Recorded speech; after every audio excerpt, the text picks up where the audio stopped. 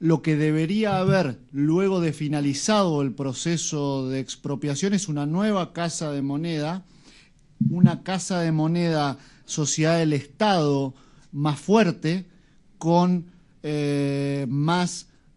con más mano de obra eh, calificada, trabajando en pos de los intereses del Estado, con sus particularidades gremiales, eh, con sus encuadramientos gremiales, pero asegurando esos encuadramientos gremiales, pero básicamente orientados hacia un nuevo objetivo que no tiene que ver con el objetivo que toda empresa privada tiene, que siempre implica un interés eh, privado, un interés eh,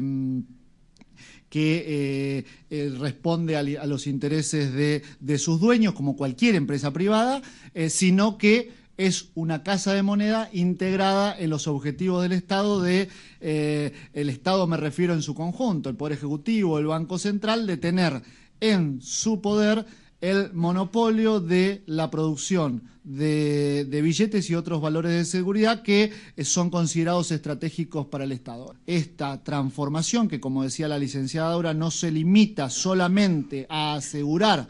el, la provisión de eh, papel moneda al Banco Central en su totalidad, digamos, la provisión total de eh, los billetes para nuestra economía, para que eh, las transacciones se, se, den eh, con fluidez y, y, sin ningún inconveniente y no como en otras como en otros en otros momentos donde tuvimos alguna alguna dificultad que no deja de tener relación con lo que describió la licenciada Daura, digo, ¿no? O sea, eh, claramente si llegamos a un momento en el cual debimos acudir a otros impresores de billetes del exterior para proveernos de lo que requería nuestra economía,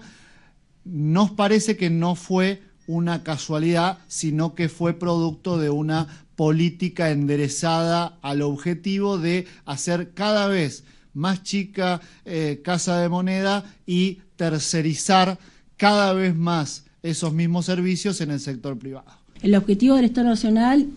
y el nuestro en particular siempre ha sido tomar control de los equipos que pueden hacer billetes o cualquier tipo de instrumento de seguridad. Y lo que venimos haciendo del 2010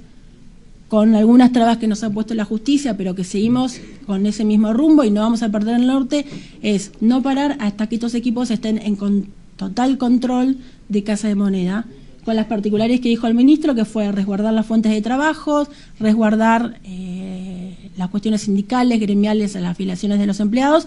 y encontrar el mejor esquema productivo posible para que en el menor tiempo, y eso sí ya va a depender del Congreso de la Nación, esta planta pase a ser propiedad total sobre todos los equipos de Sociedad de Estado Casa de Moneda, que es lo que más nos interesa.